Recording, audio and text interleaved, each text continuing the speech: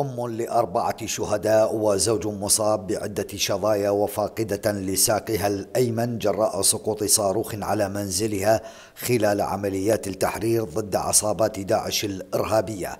تناشد اليوم السيد مصطفى الكاظمي للتدخل بحل قضيتها المتعلقة باستحقاقها لقطعة الأرض التي خصصت لها ولم تستلمها لحد اللحظة.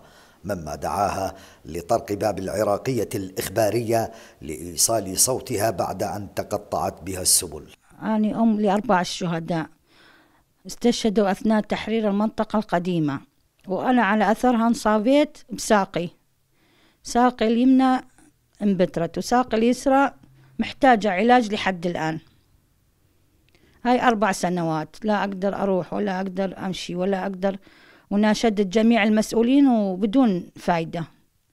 فأناشد السيد الكاظمي حصرا. ثاني موضوع بخصوص قطعة الأرض. قطعة الأرض قدمت عليها سرقوها مني جماعة البلدية. والله أشنو؟ صارت الغيرك أشون صارت الغيري عندي مستمسكات وعندي إثباتات بأن هاي الأرض أنا قدمت عليها من حصتي. بس حقي ما أعوف وأنا كمصابة وكمضحية. وكحق زوجي كان موظف خدم الدولة وحق ابني موظف وصان وصان العهد. سحبته من فات داعش لي حد ما انتهى داعش ابني قاعد بالبيت. أكلنا حجر وما خلنا الوطن. أناشد آه، السيد الكاظمي أبو الغيرة أبو الشيمة.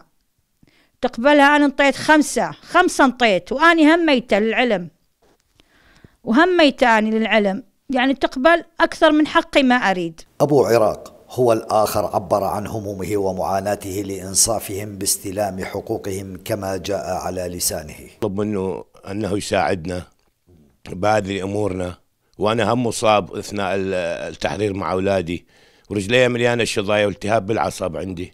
لم يتبقى لأم عراق إلا أن تطرق باب رئيس مجلس الوزراء بعد أن فقدت الأمل بمن وعدوها خيرا ولم تجن من وعودهم شيئا في نيل حقوقها.